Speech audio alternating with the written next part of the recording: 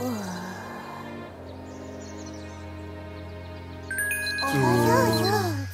분명히 여기 어디쯤인데? 가 맞아. 이 근처가 온통 초콜릿 광맥이야.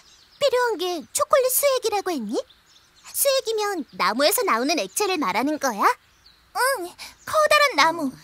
어떤 커다란 나무? 어, 글쎄, 그냥 나무인데 좀 커. 그리고 어, 어, 잘 모르겠어.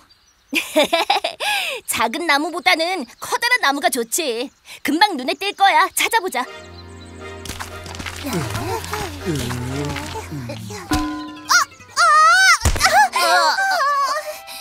어, 괜찮아?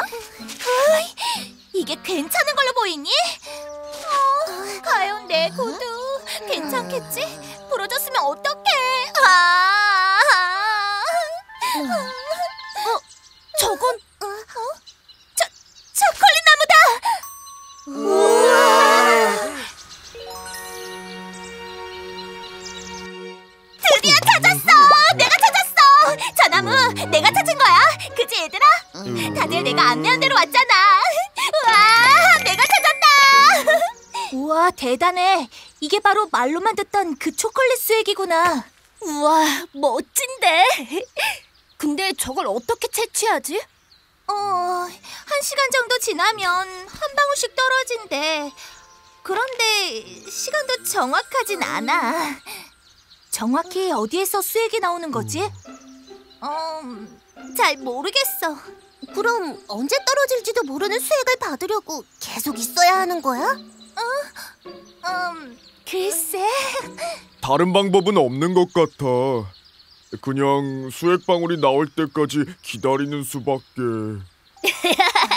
걱정 마. 다 방법이 있지.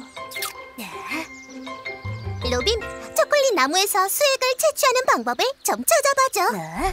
비리비리 나뭇가지 제일 끝에 작은 상처를 내고 한 시간에 한 방울씩 나뭇가지마다 딱 한 방울 나뭇가지에 올라가려면 도켓 어? 너밖에 없어. 좋아. 그런데 수액은 누가 받아?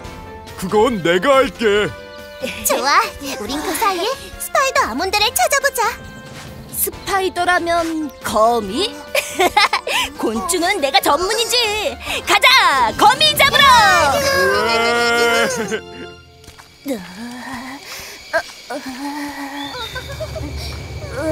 어째 좀 으스스한데? 무언가 갑자기 나타날 것 같아.